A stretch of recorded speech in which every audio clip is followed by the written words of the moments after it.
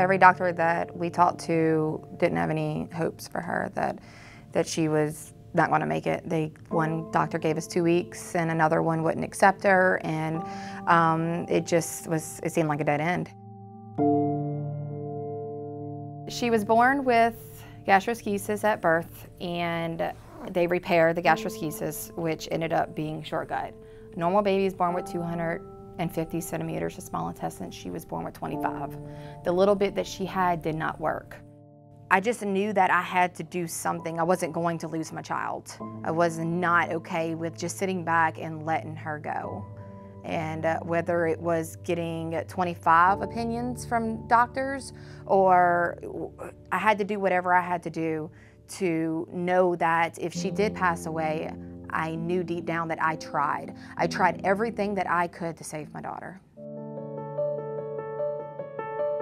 I heard about Nebraska Medicine through her TPN company that delivers and supplies her internal meds. She said that she heard a success story from the about the medical center and this is where we, we came. Well, when Bray came, she, I mean, she was very little. You know, she was really, really small, and she was really sick.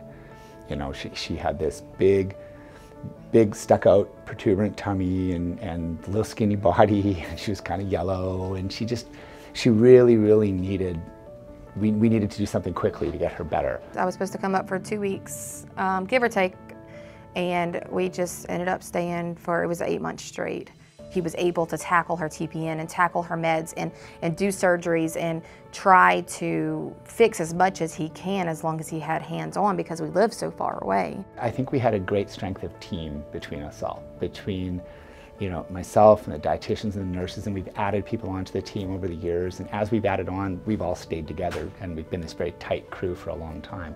Are you pretty much eating what you want to? Yeah, like whatever. For her, it was really good that we could all be together through all these years and take her right from, you know, one year old to almost 14 now. Could cry and I can yell and I can tell them that I wasn't happy and they were always there. They were always understanding when it came to Bray because one day I'd come in with a smile on my face, the next day I'd be crying my eyes out and it's just, it's a roller coaster. But they were always there for support no matter what. She had a lot of mom time, a lot of me and her, so we are very close. But um, I was very fortunate and blessed that I was able to have somebody to keep my other children and um, take care of them while I was taking care of my oldest that needed my help.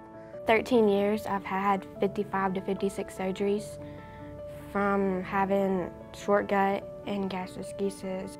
When I was little, I would always have my TPN and I would always like want to be like other girls at school like hey mom can I go have a sleepover can I like do spa day and everything with them and I couldn't because I had to go home every night and have a big bag and machine that would go off every night pretty much but now like I feel free I feel like I can do anything I want because of Dr. Mercer he made me so much better and I want to thank him for that Bray's future looks awesome. I mean, you can just look at how good she looks right now. She's only going to be better. She'll only get better and better and better as she gets older. Took 13 years of off and on of doing the back and forth from Louisiana to here, but it was well worth it. I mean, I, would, I wouldn't trade it for the world. You know, God dealt me this hand and we played it out and now look at her. So we did good.